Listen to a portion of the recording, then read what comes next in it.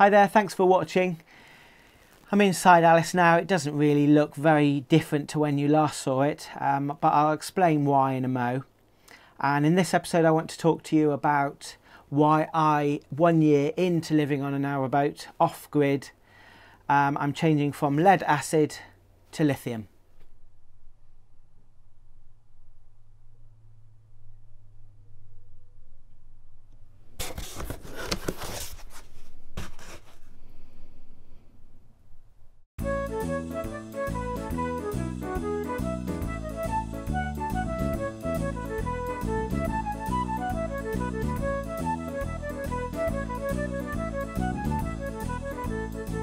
When living on a boat, especially as a continuous cruiser, um, I don't have the luxury of plugging into a shoreline and having mains electricity. So I need to generate my own electricity, um, just like as someone living off the grid would, and store it somewhere. And that storage is in the form of a battery. Uh, they're deep cycle batteries, which means that they, they go through from empty to full. That's classed as a cycle and there's a lo- there's lots and lots of different ones out there. The technology's been around for what 150 odd years. There's lead acid, there's AGM, there's gel. Um, I've got four lead acid aboard Alice. Um, right in the early days, I just wanted to get going and wanted electricity and, and get out onto the waterways. I've got four sealed lead acid. Each of them are 110 amp hours each. Now an amp hour is how many amps you can run for an hour. So 110 amp hours in theory you should be able to run one amp for 110 hours but it's not as simple as that especially with with lead acid technology.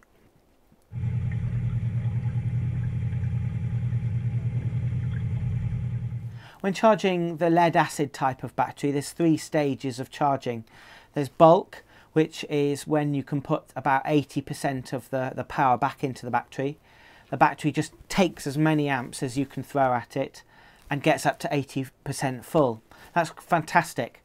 However, lead acid batteries like to be 100% full regularly and it's that last 20% that has become a real pain because of the efficiency of, of lead acid technology that last 20% takes hours and hours and hours. The very last stage of three star ch charging is called a float because the battery likes to remain almost 100%. The float uh, just keeps it keeps it high. It floats the voltage very, very, it's almost like a very slight trickle charge just to keep it, it topped up. Over the last year, during the summer months, it, the batteries were fine. I had lots and lots of solar. I would be out navigating the canals and rivers, so the, the engine using its alternator would be charging the batteries, and I had no real issues. The problems started to come in the winter months, and solar in the winter months is heavily reduced, regardless of the fact that I've got what 650 watts of solar on the roof, which is quite a lot. That was nowhere near enough. Um, I was finding on the dark and, and dingy days of a, of a British winter that the solar was almost useless. So I was having to, every single day, charge my batteries with either my generator or my engine, which of course adds extra maintenance and fuel for both. Um, and that process, especially through the winter months, was, was really horrible. You're so conscious of the energy you use. I turned my fridge off, which is the, the biggest consumer of electricity on the boat. That uses around about 45 amp hours a day. The problem with lead acid though is it's recommended to only take the, the depth of discharge down to 50%.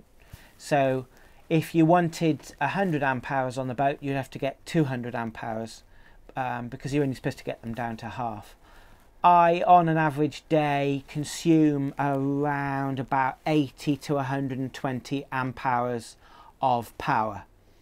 Um, I've got four le sealed lead acid batteries on board Alice, um, and each of those are 110 amp hours. Um, so that equates to 440 amp hours. But think of only half, that's effectively 220 amp hours I've got available. And in the winter months, I was finding that not enough. I was charging every single day. On top of all of that, the lead acid technology, after about 100 to 300 cycles, depending on what manufacturer and what type of battery, it starts to depreciate. And that depreciation gets goes down and down and down and down and down. Um, and if you don't keep the battery topped up to 100%, the batteries sulfate, which then depreciates them even more. And the use of battery monitors is, is completely useless to a certain degree. The technology inside them tries to cope with lead acid, but it doesn't know how sulfated a battery is. So it can quite regularly tell you, oh yeah, your battery's at 85, 90, 90% full. And you're like, yay, but really you've got to look at the voltage of the battery um, and see how many amps are still going in to get a real uh, feeling for how full the battery is. It's that three stage of charging that I have really hated, especially through the winter months. It's such a difficult task of constantly having to replenish the energy back into a battery every single day. Um, yes, you can get bigger battery banks, but then with a bigger battery bank, you've got to put more energy back into it. So that became quite a laborious task and I really hated it. So I, I personally had to look for an alternative. So today's the day.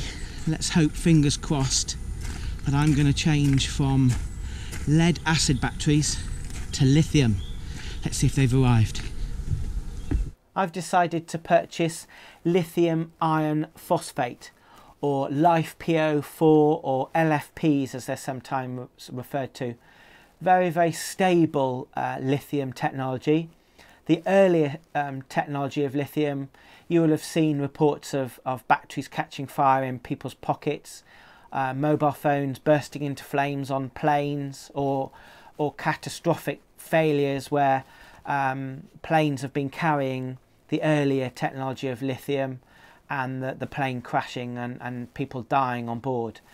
The technology's moved on and lithium iron phosphate is the very latest and very, very stable and very reliable.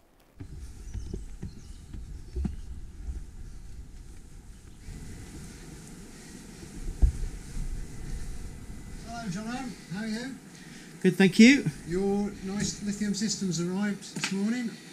I've decided to go with 12 volt lithium iron phosphate batteries. You can get 24 volts, but they're a lot more expensive and then I would have to downgrade because everything on board is 12 volts. So I've gone with 12 volt type. They have four cells inside them, each of them are connected in series and they're 3.2 volts each. So that gives 12.8 volts of battery power which is in quite a, a good comparison to the traditional types of, of lead acid batteries. So they can be switched in and out quite easily.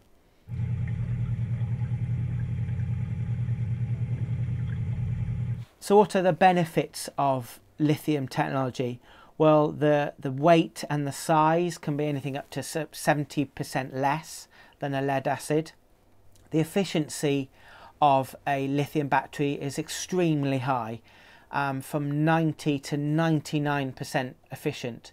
So when I was talking about the absorption charge, where it can be as low as half, um, that, that's out of the window now, that's gone with lithium. Also, lithium batteries can take a tremendous amount of power all in one go. There's none of this three-stage charging process. It takes as much power as you can give it, and then right at the very end, it then tails off quite rapidly. But by then, the, the batteries are full. They have no history, unlike the early stages of lithium where you had to deplete them and then fill them back up and whatnot. That's, uh, that's all gone with LiFePO4s. They don't need 100% charge. Um, unlike a lead acid, which prefers 100% charge as much as you can, LiFePO4s really don't care. In fact, they perform better if you don't constantly leave them at 100% charge. It's a very stable voltage with, with lithium. With a lead acid, the more you use it, um, and the, the emptier the battery gets, or if you take a lot of charge out of the battery in one go, the voltage drops quite considerably.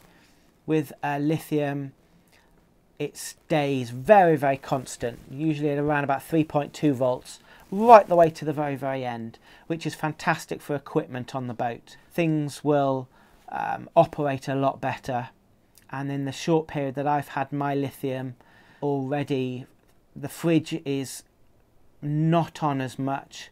Things like the shower pump is working really well, so much so that I opened the shower door on the first morning and water sprayed out all over the floor.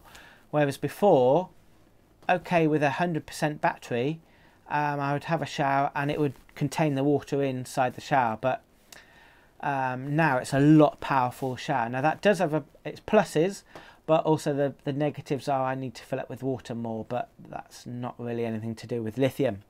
With battery monitors, because the efficiency is so high, it's a, almost a reverse. You ignore the voltage side because it stays stable for the majority of the time.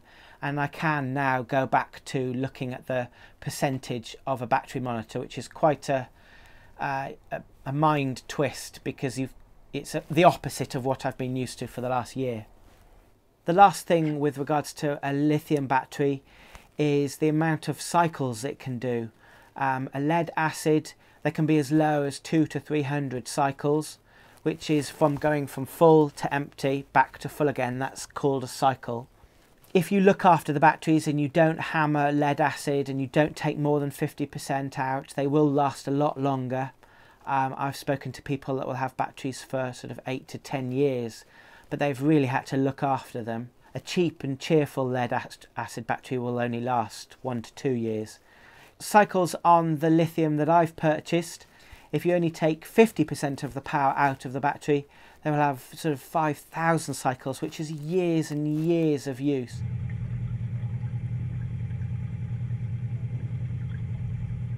So if you're going to go with lithium, there's three main areas of the type of lithium battery you could get.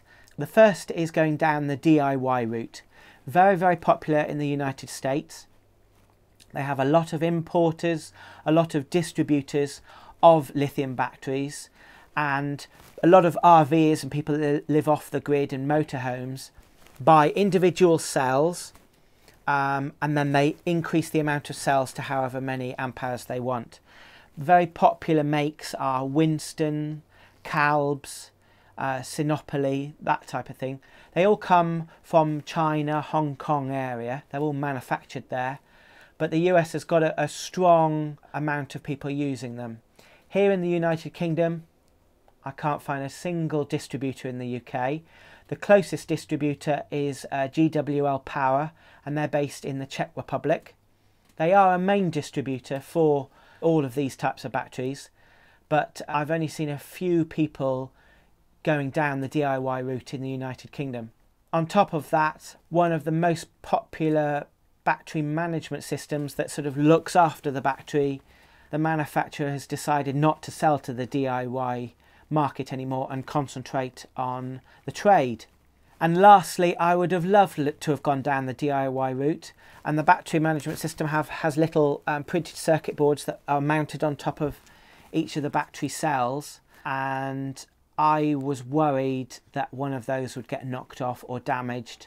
And if you disrupt the battery management system in any way or if it goes wrong, you could jeopardize losing all your batteries.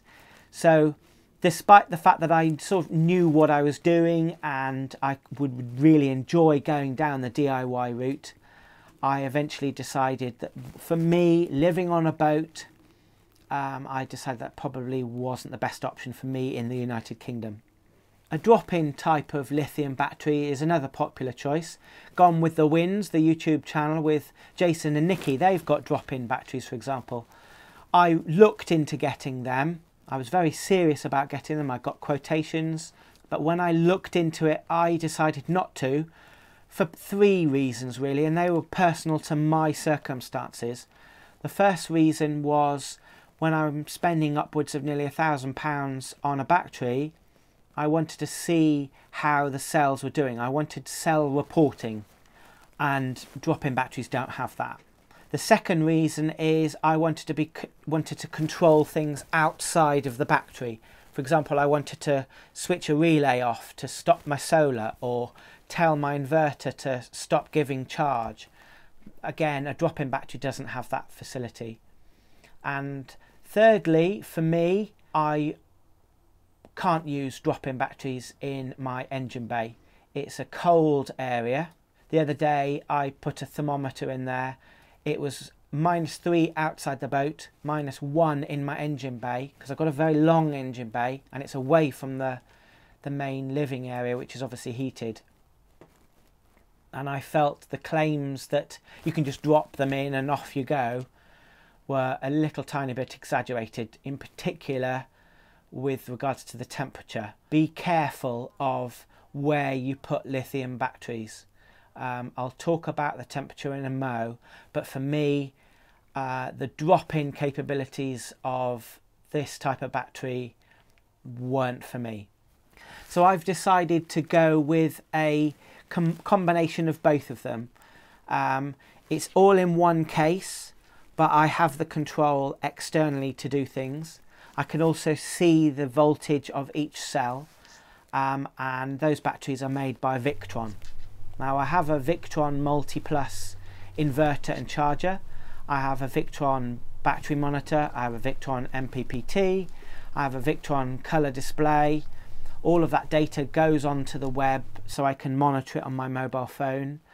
And I wanted to uh, keep with the trend. The Victron lithium batteries have a separate battery management system, but that can control other things. I'll be going into all of this in, in separate videos. Um, it also reports quite nicely and it communicates with both the MPPT and the MultiPlus. So that's the type of battery I've gone for. Because they are so efficient, and I've spoken to Victron directly, you can add further batteries later on. So I've bought three 100 amp hour batteries purely because of cost and purely because of I don't know what's around the corner. I might decide in six months time to buy a, a great big computer to edit all these YouTube videos on which then would require more power than my calculations have been in the last couple of weeks. And the beauty of buying a 100 amp hour lithium battery is it's a lot cheaper to add another 100 amp hour rather than another 300 because you do need to keep the consistency of the amount of amp hours.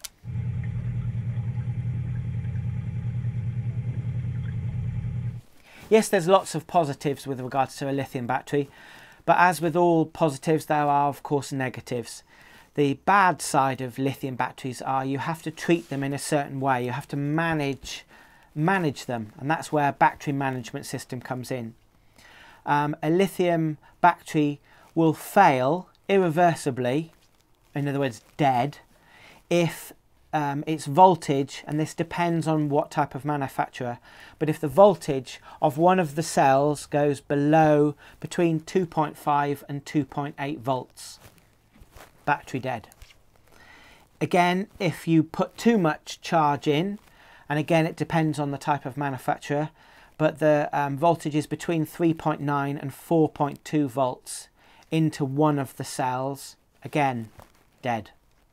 Another area that a lithium iron phosphate battery will die is temperature. Now there's pluses and there's minuses. The pluses are they have a, a fantastic operating range of temperatures. You can uh, use them from below 20 degrees Celsius right up to 50 degrees Celsius and you can store them down to minus 45 degrees Celsius right up to 70 degrees Celsius. It's the same for all lithium iron phosphate batteries, but the area where they will fail is when charging the battery at 0 degrees Celsius or below. So I will be storing my batteries inside because I know my engine bay gets cold. But you can charge a battery when it's below 0 degrees Celsius, but the charge has got to be heavily reduced. The calculations I've seen and in the battery terminology it's classed as 0.05C to 0.1C. What that really means is 5 to 10% of the battery's capacity. So, for example, one of my batteries is 100 amp hours, and in particular with Victron, they have a 0.05 C rating when charging below 0 degrees Celsius. So I can't put any more than 5 amps into it, otherwise I will kill it. Basically, you've got to treat the battery really, really carefully if they are cold. So dropping them into an engine bay and ignoring the temperature will kill them. A lot of RVers and motorhome and caravan people have got around putting lithium ion batteries in lockers underneath the, the motorhome by controlling the temperature in the locker, either by heat maps or blowers or siphoning air in from the main cabin into the locker. All I can say is don't ignore the temperature environment that you're charging a lithium ion battery in. If you're going to put it in an area where it's at zero degrees Celsius or below and you want to charge them, of course you can use them, but if you want to charge them either with solar on the roof or with an alternator or what however means, you've got to limit the amount of current going into them. Very, very cold mornings, um, especially recently, very, very frosty, very clear skies have plummeted the temperature down. That means that the engine bay is below freezing. The sun comes up, no clouds in the sky, bright sun, lots and lots of ice crystals or snow everywhere that bounces the light onto the solar. Fantastic for solar. The solar generates loads and loads of energy. Boom, you've killed your lithium batteries if you don't keep them in a warmer environment. So they're going to go inside in a kitchen cupboard where I have got the warmth of, of the main cabin and I will be detailing all of that process. It looks, I'm looking at that area right now behind the camera and there's cables everywhere and there's a lot of mess. So I've got to finish my testing of my lithiums and get on with installing in that cupboard. I will be detailing all of that area of all the extra bits of kit that I've bought in a number of videos. The biggest negative side of all of this is obviously on the old bank balance. Lead acid are cheap. Um, you can get lead acid as low as under a hundred pounds and foolishly I'll hold my hands up I shouldn't have done that in the early days I should have researched my energy properly I shouldn't have bought lead acid personally. At the back of my head, I always thought that I might be going down the lithium route. That's probably why the majority of the boat hasn't been finalised because I haven't finalised my electrics. Um, it's all very temporary, even a year in. I've obviously gone online and looked at other YouTubers. There's um, a guy that's installing 24 volt Victron batteries in a in a great big bus that he's going to live on, as well as lots of people going down the DIY route. Not many people talking about the smaller types of batteries, specifically 12 volts, and mainly for Victron. I think that's probably because up until quite recently they've been really, really very expensive. So I've got quite a lot of from YouTube. I've also uh, gone to the Victron main website, read a lot of their stuff, a lot of their manuals. I'm one of these types of people that will read a manual from cover to cover before switching things on, despite sometimes desperately wanting to turn things on beforehand. So I've got a lot of information from Victron and they've got quite an active um, area where you can post questions um, and a Victron representative will come back and answer them. I've gained quite a lot of information there. And I've also gained quite a lot from a Victron main dealer. The guys at Onboard Energy have also been extremely helpful.